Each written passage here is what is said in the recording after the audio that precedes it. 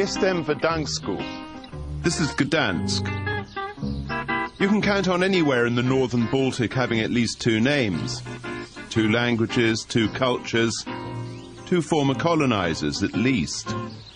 Gdansk is currently in Poland. Ich bin in Danzig. Throughout its history, it has been occupied and reoccupied, subjugated and liberated. Allotment gardens did not belong to hobbyists. They were near necessities throughout long decades of shortages.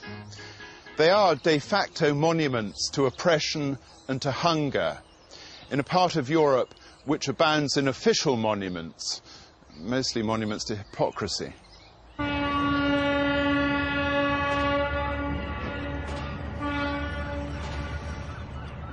Gdansk might be said to be the founding city of modern Poland. The shipyard strikes initially occasioned by the sacking of the crane operator and former welder Anna Walentynowicz were led by Lech Wałęsa and led in turn to the founding of Solidarity, which in further turn led to suppression, martial law and state-sanctioned murder. This is where the Soviet Empire first began to crumble, where communism, toothless and weakened by itself, began to capitulate in a way that it hadn't at the time of the Hungarian uprising or the Prague Spring. This might be considered appropriate, but Gdansk belonged to the Hanseatic League, God's first attempt at the EU, which was born out of something other than an ism. It grew rich out of enterprise, out of trade.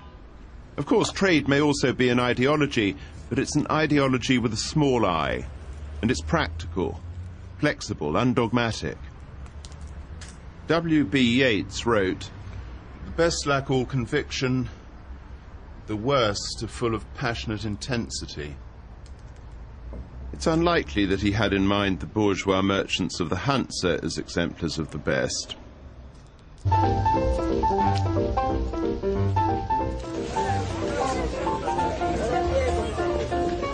Proszę, wódkę i slerze. Proszę bardzo.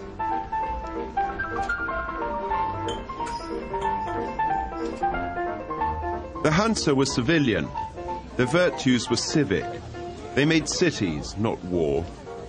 They did not raise armies, nor did they put to sail in men of war.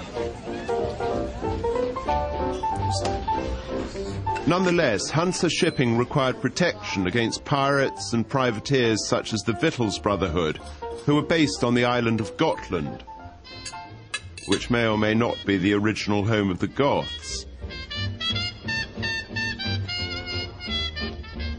And Hansa cities too needed defences.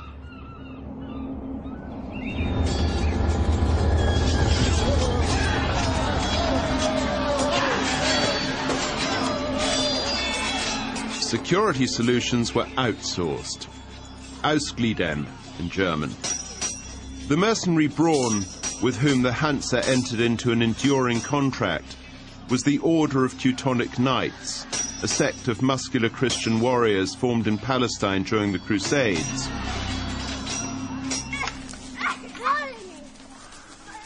They had a taste for tournaments, and their buildings are tournament pavilions frozen forever in brick. The Teutonic Knights were supposedly celibate, supposedly chivalric, certainly militant, given to hunting, and practiced in faith-based belligerence initiatives.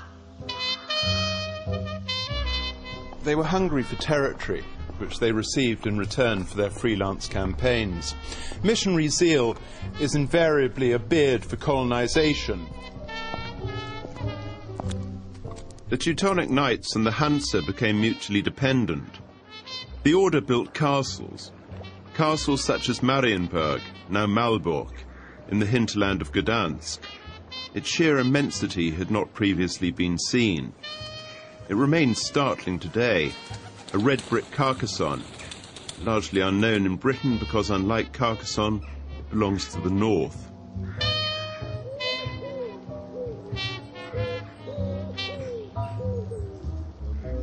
The Teutonic Knights considered conversion by force to be legitimate, even if the non-believers in question, that is, non-Christians, posed neither the ideological nor the political threat that Islam did in the countries bordering the eastern Mediterranean.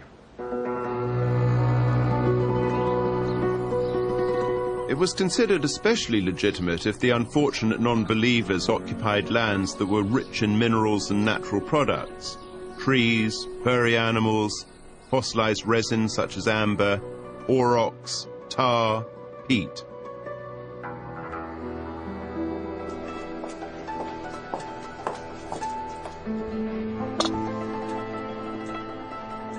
The Order's crusade, or land grab, was directed against Lithuania, the last pagan country, sandwiched between the easternmost diocese of the Roman Church and the westernmost outposts of the Russian Orthodox.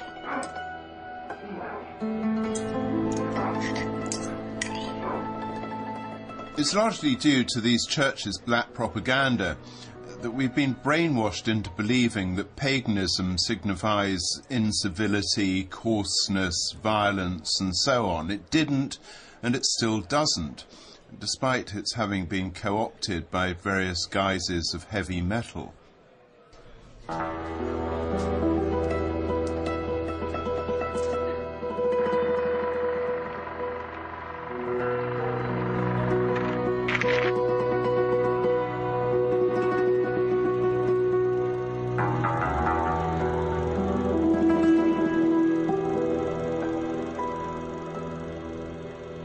Pagan was a blanket word, born of fanatical zeal and bigoted incuriosity, which dismissed countless sorts of belief. It's a synonym of heathen, and it derives ultimately from the same root as the word peasant. It signifies then people who lived in the country, that's to say, in the forests rather than in towns.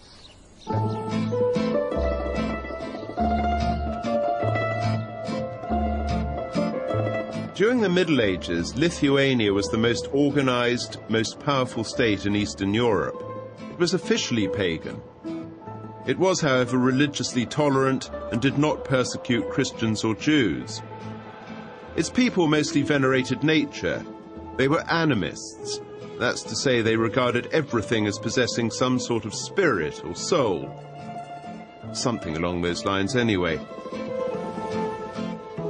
They were polytheistic. Their pantheon included a god of the sun, a god of the moon, a god of lightning, a god of rain, a god of drizzle, a god of possible precipitation by the end of the eleventh day after the first apple ripens.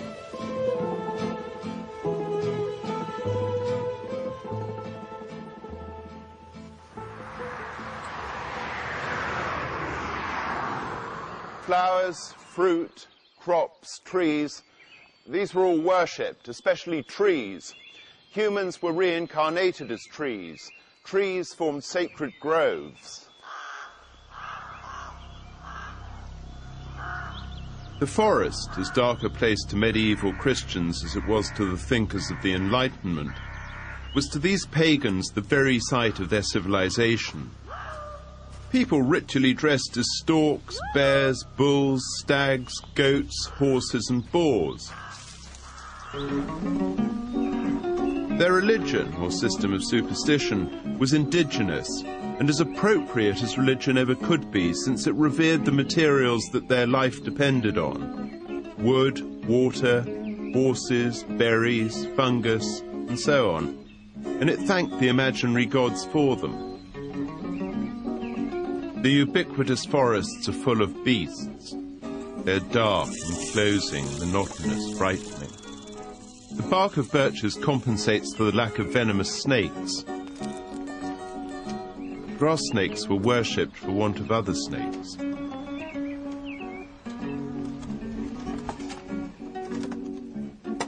deserts incite a different sort of fantasy or superstition, the fantasy of monotheism.